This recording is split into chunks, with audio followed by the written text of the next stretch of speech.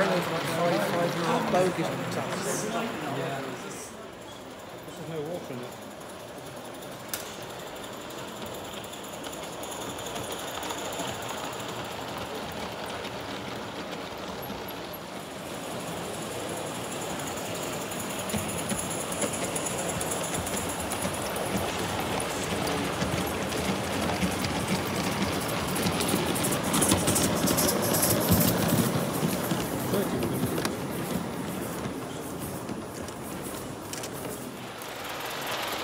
Thank you.